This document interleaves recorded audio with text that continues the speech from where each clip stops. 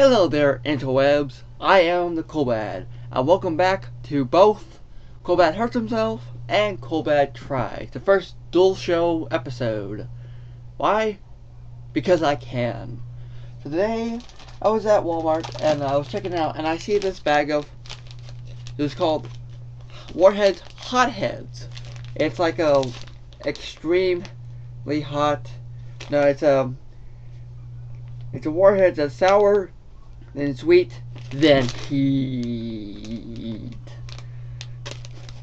Smells. I, I can literally smell it through the bag. That's how powerful it is. Okay, let's. Oh yeah, let's get this thing open. Oh shit! It just exploded all over my pants. Whatever, whatever, future me. Okay, I'm gonna try the.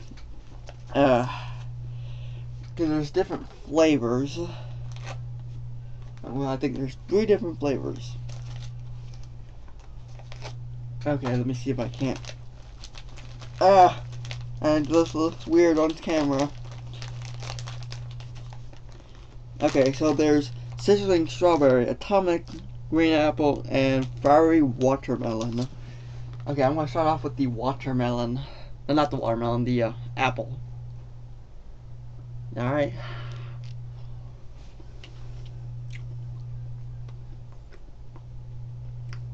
Okay, it's not really sour.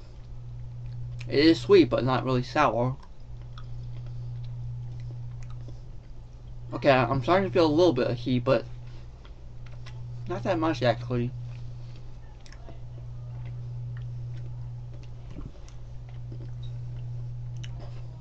Hmm.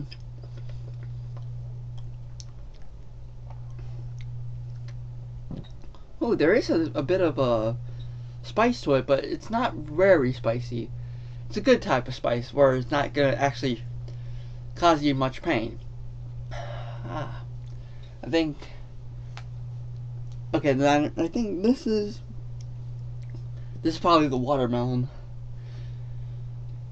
uh, yeah, definitely watermelon. I don't like watermelon. Oh, okay, that one has. Oh. I went. Watermelon always sucked. In every Warheads.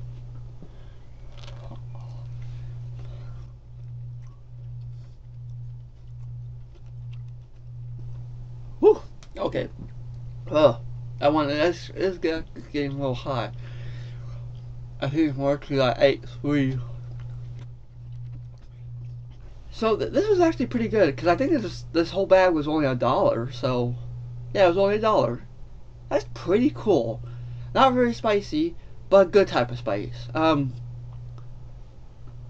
pretty good. So come back next time where I take on, where I try something new and hurt myself with something else. CoolBad. See you later.